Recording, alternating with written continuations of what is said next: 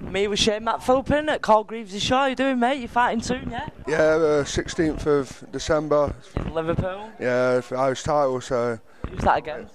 uh, fighting the Seeing Tins from Ireland. So tough lad, but hopefully, I'll, ready for it? yeah, I can't wait now. Uh, well, it's the fight like we've been speaking for a while. Me and Ian Alvin was going hopefully try and sort of fight out. Well, it was meant to be for after New Year, but got the call up. So Might as well. Early Christmas present. yeah, hopefully, yeah. Well, my daughter she loves my other belt I've got, so hopefully it'll be an early Christmas present for her. That'd be brilliant. And it's um, Almira in association with Frank Warren, is it? Yeah, uh, well, it's, I think it's Frank Warren's sons, is it, that does the sh- shows.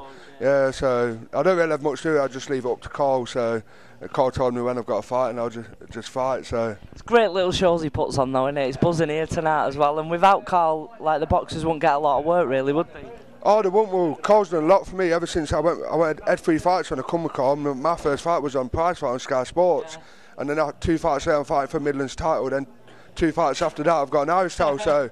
I don't think I could have done it without Carl. No, no, and he's a better man. We have a good laugh. Me and it together. He's he's crazy, crazy bloke. And yeah, when we when we're together, it's great. He relaxes me just by his attitude. So Well, you've got a good attitude as well, and it's important that you both get on together. And like I said, you you've had a really good start, and people know who you are now. oh yeah, uh, well the prize fight I got my name up there, and I'm getting a good following now. I'm getting between 100 to 200 people coming to local shows in Coventry and even Coventry, London, and even Liverpool. I'm able to get a few up there now as well. So. Are you from Coventry then, originally? No, I'm from uh, Nottingham. I'm from Nottingham, but I've, my first ever fight was in Nottingham. I've always fought out of town, even in the amateurs. So, but like my last one was in Nottingham, and they had like over 200 people there, and it was just ran with all Bullellians, so it was mint. Wicked.